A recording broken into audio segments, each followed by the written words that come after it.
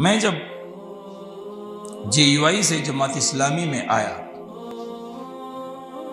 जे you आई से, जमीयतुलमा इस्लाम से, जमात इस्लामी में जब मैं आया तो दो मौलवी साहब मेरे पास इस्लामाबाद में मुनाजरे करने, मुनाजरा करने के लिए आए। कि मौलाना मौदूदी ने ये लिखा है, ये लिखा है, वो लिखा है तो वो तमाम किताबें मैंने उनको दिखाई कि भाई देखो, तुमने कुछ पढ़ा ही नहीं। मौलाना मौदूदी रहमत की किताब को देखा ही नहीं, हाथ भी नहीं लगाया, ग्यारह हज़ार वोल्ट का करंट है उसमें। तो तुम्हें क्या पता है कि उसमें क्या लिखा है? वो इबारतें जब उन्होंने देखी, फिर वही इबारत मैंने इनके बुज़ुर्गों की किताबों से भी लाकर दिखाई। हैरान हो गए, कहते हम पहली मरतबा। मैंने कहा, मुताला करो ना अल्लाह के बंदो। फिर कहने लगे कि चलो मान लिया कि मौलाना मौदूदी रहमत की किताबों में कोई ऐसी वैसी इस्लाम के खिलाफ बात नहीं है। मान लिया। लेकिन मुफ्ती साहब, मौलाना मौदूदी का ख़त्म नबूवत के हवाले से कोई किरदार नहीं। मैंने कहा, ये रिसाला तेरे बाप ने लिखा ये कादियानी मसला और फिर ये कादियानी मसले के बारे में, इस रिसाले के बारे में ये कादियानियों की मेरे पास किताब है, जिसका नाम है तारीख अहमदियत। जिल नंबर सोलह, इसके मैं दो दो हवाले आपकी खिदमत में पेश करूँगा, फिर इजाज़त। ये कादियानियों की किताब है। किसकी किताब है? कादियानियों की। हमारी नहीं। वल फजल मा शहदत बेहिल आदा। फजीलत वो होती है कि दुश्मन जिसकी गवाही दे। उनकी किताब है।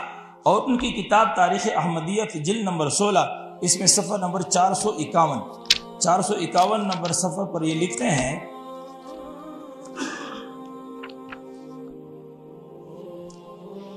कहते हैं, सैयद फेरो, फिरदोस शाह को चार की शाम को एक गजबनाक हजूम ने मस्जिद वज़ीर खान के अंदर या बाहर कत्ल कर दिया। ये फिरदोस शाह कोई कादियानी था जो कत्ल हो चुका था। तो ये कादियानी लिखते हैं, वो कत्ल कर दिया गया। ये बाद में होने वाले वाकयात का माज एक पेश खेमा था, लेकिन इस हादसे के बाद भी जमात इस्लामी ने न इजहार तसुफ किया न इस बख्शियाना कत्ल की मजम्मत में एक लफ्ज़ कहा। फिरदोस शाह कादियानी कत्ल हुआ। जमात इस्लामी से शिकवे कि इन्होंने इजहार तासुब भी नहीं किया, बल्कि इसके बरक्स, इस जमात के बानी ने। जमात इस्लामी का बानी कौन है? मौलाना मौदूदी रहमत बल्कि इसके बरक्स, इस जमात के बानी बानी ने आग और खून के इस होलनाक हंगामे के दरमियान कादियानी मसला का बम फेंक दिया। कादियानी मसला का? यह कादियानी मसला को बम किसने करार दिया है? कादियानियों ने। मेरे पास कुछ उलमा आए, पेशावर हमारे दफ्तर में। वहाँ उलमा मेरे पास अल्हम्दुलिल्लाह बहुत आते हैं। बाज शिकार भी हो जाते हैं और आप फिर सोशल मीडिया पर देखते भी हैं। शिकार क्या मतलब? बल्कि वो इस तहरीक से वाबस्ता हो जाते हैं। तो बहरहाल ओलमा आए तो मैंने उनको कादियानी मसला गिफ्ट में दिया और मैंने अपने फेसबुक पोस्ट पर दे दिया कि ओलमा का वफद आया और इनको मैंने एक एक बम दे दिया। फिर तफसील लिखी कुछ और आखिर में लिखा कि चूँकि कादियानियों ने कादियानी मसला को बम करार दिया है तो मैंने उनको ये कादियानी मसला दिया। मैंने कहा, ऐसा ना हो कि फिर पुलिस वाले आ जाए कि बम तकसीम कर रहे हो।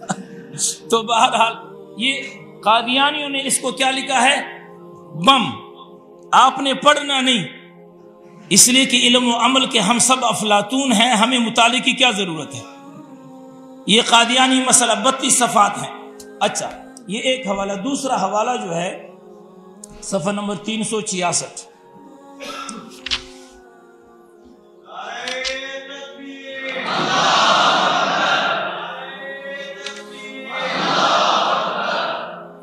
सफ़र नंबर तीन सौ।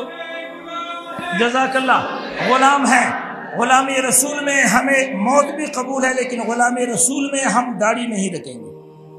गुलाम रसूल में हमें मौत भी कबूल है, लेकिन गुलाम रसूल में हम पाँच वक्त की नमाज़ नहीं पढ़ेंगे।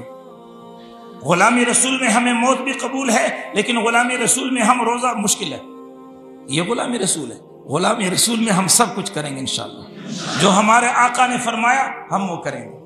जिनसे हमारे आका ने मना किया है, माँ आता कुमुर रसूल फ़खुजू हो व माँ नहा कुमान हो फन हो जिनसे हमारे आका ने रोका है, हम रुकेंगे और जिससे का हमारे आका ने हुक्म दिया है, वो करेंगे। ये सफ़र नंबर तीन सौ छियासठ है, तारीख अहमदियत जिन नंबर सोलह का। कहते हैं, मौलाना सैयद अबुल आला साहब मौदूदी ने आन फसादात पंजाब के दौरान अपने मजमून कादियानी मसला को पहले तर्जमान में और फिर मुस्तकिल रिसाला की शक्ल में लाखों की तादाद में शाया किया था। तहकीकती, ये लाखों की तादाद में क्यों शाया किया था? खत्म नबूत के ठेकेदार तो दूसरे लोग हैं। मौलाना को क्या ज़रूरत थी? मालूम हुआ मौलाना मौदूदी रहमत ख़त्म नबूत की इस तहरीक के बानी थे। लाखों की तादाद में शाया किया था। तहकीकती अदालत में ये रिसाला भी जेर बास आया और मौदूदी साहब और उनकी जमात ने उसी की बुनियाद पर तहरीरी व तकरीरी बयान अदालत में दिए। वैसे भी मुल्क के एक तबके पर इसने ऐसा गहरा असर डाला कि अहमदियत के खिलाफ नफरत व हकारत का की खलीज वसी से वसी तर हो गई। ये कादियानी लिखता है। हम ये रिसाला पढ़ेंगे ना इनशाला आप में से जिस जिसको ये रिसाले की ज़रूरत होगी, मेरे फ़ोन नंबर पर अपना एड्रेस मैसेज करें, बजरिया डाक आपको मुफ़्त ये रिसाला मिलेगा इन अब ये